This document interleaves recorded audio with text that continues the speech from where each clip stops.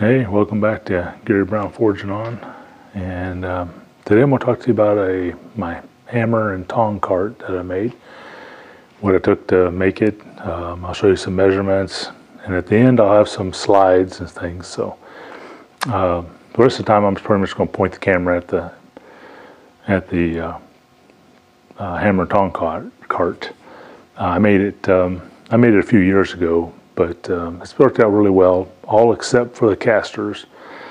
I'll try to show you those if I can. Um, I bought them from Harbor Freight, the small ones, supposed to be like up to 100 or 200 pounds uh, per caster.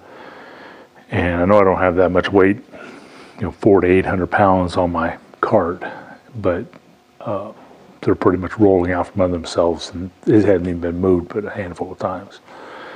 so I'm gonna take them all, put some really good four inch casters from like Lowe's or something on there. Forget about that Harbor Freight junk. So anyway, um, this I got a couple bulbs in my fluorescent light keep going off and on, driving me nuts. So I'm using my other light here to try to shine and make up for it. But anyway, I'll um, turn around and let's look at the hand cart or the hammer cart. Okay, so I'm gonna move my tripod around, get a little bit further back here if I can. There we go. And as you can see, um, let me get around here and talk a little about it.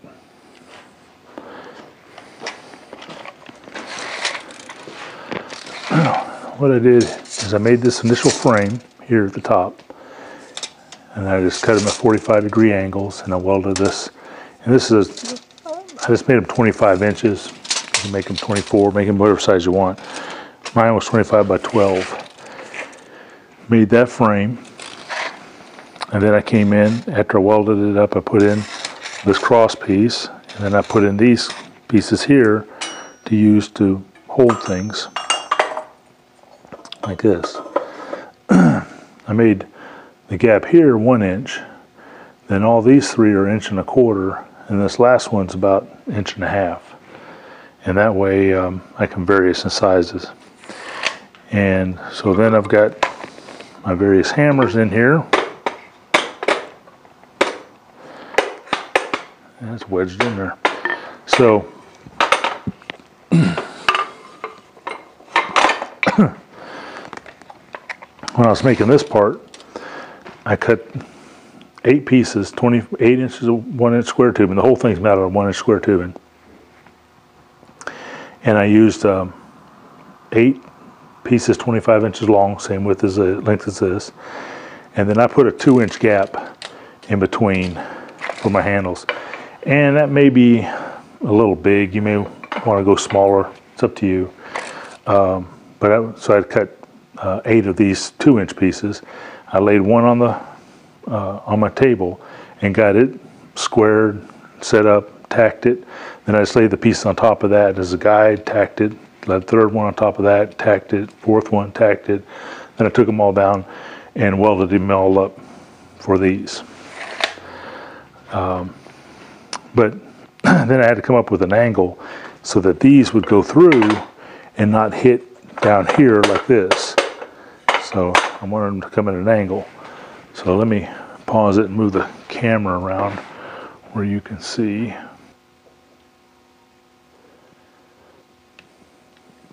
So, so what I did was basically I eyeballed. I knew I wanted these about eight inches apart. So I put from this corner to this corner is eight inches. And then I made, uh, I set one of these up and I actually used, after I kind of got the angle I wanted, then I actually took a speed square because I didn't have a protractor handy. And I laid the speed square in here and I'll put a picture at the end of what it looks like. And then at the bottom it had like a, the series of numbers and I just used that same number and that was my um, way of keeping my angles the same. So I used that for the same process on all four of these. And so then I welded them on and they're only welded at the tops and bottoms underneath on each end, but it's way strong enough for hammers to be in. And then, um, then I wanted for a tong rack.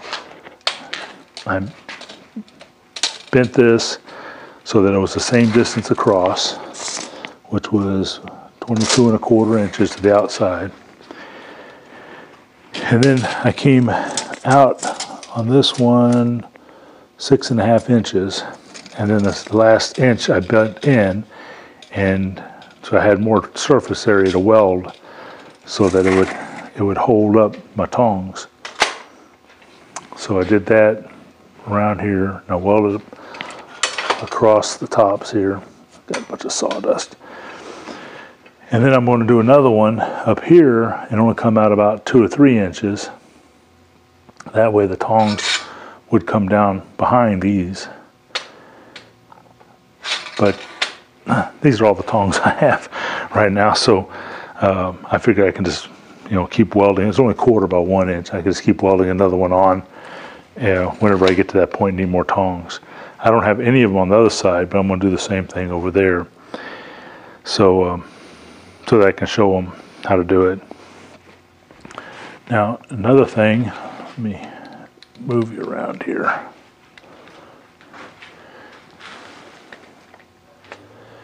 Is from this half, I uh, it's actually open underneath here. It only goes from here, then all this was open. And what I was going to do is put a piece of plate uh, sheet metal underneath, and then it'll just be like a catch-all for parts.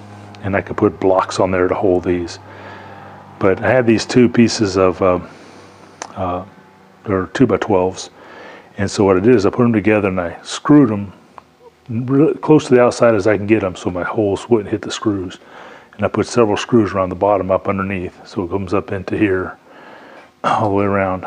And then I laid this all out in a grid pattern and this is like you know a three quarter inch spade bit and then I think I went down to like five eighths nine sixteenths half inch I can't remember my sizes. Been a while since I made this.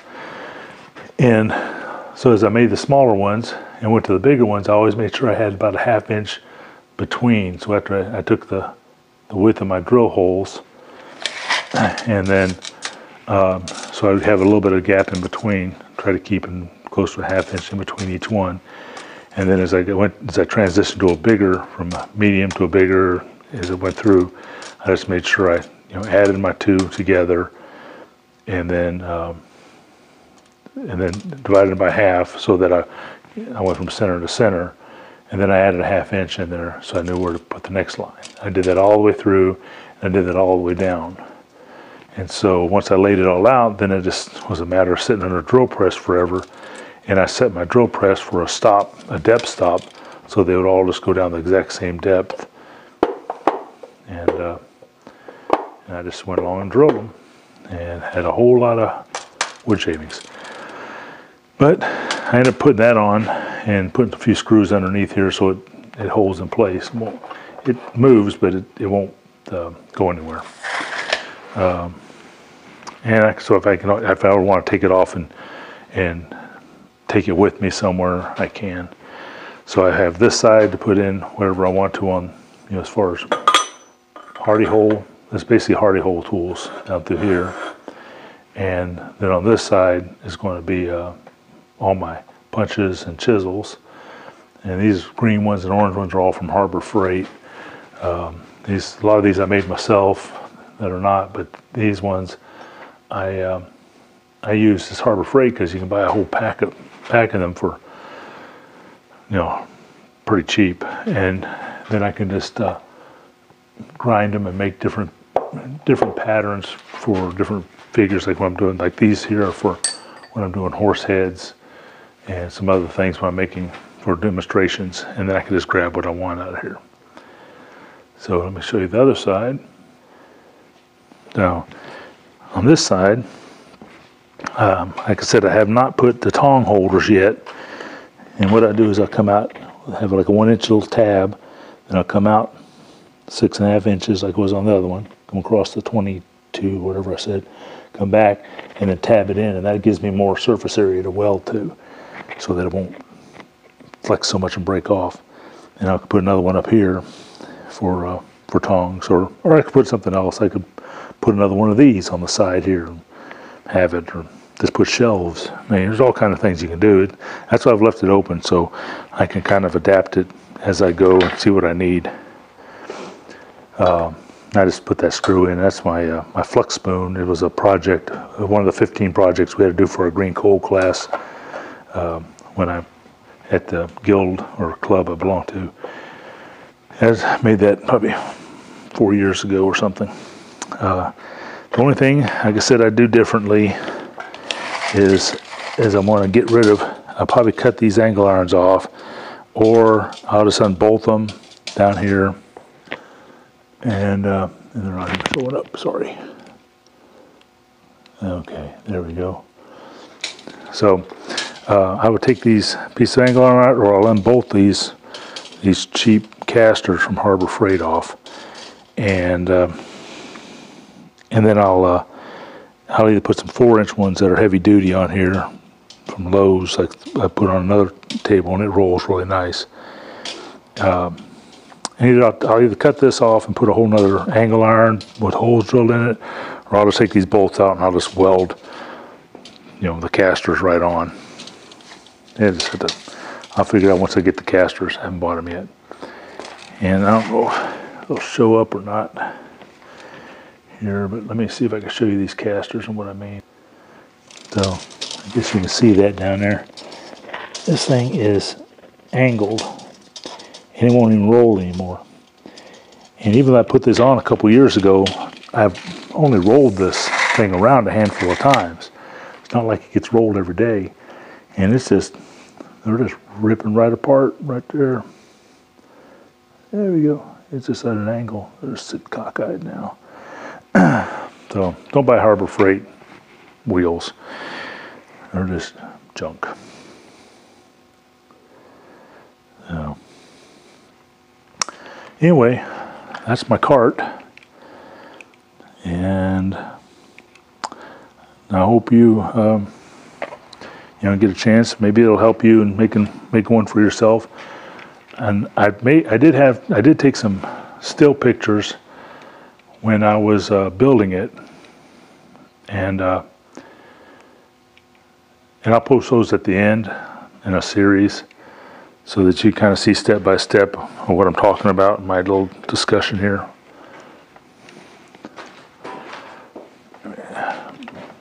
Sorry, I'm moving the tripod over here. I know I should have paused it. Okay, so that's my hammer cart, and I've got my hammers. I've got everything hanging on it. Uh, just got to watch that these top flat areas up here they become catch-alls. I had to uncover all that just so I could do this video.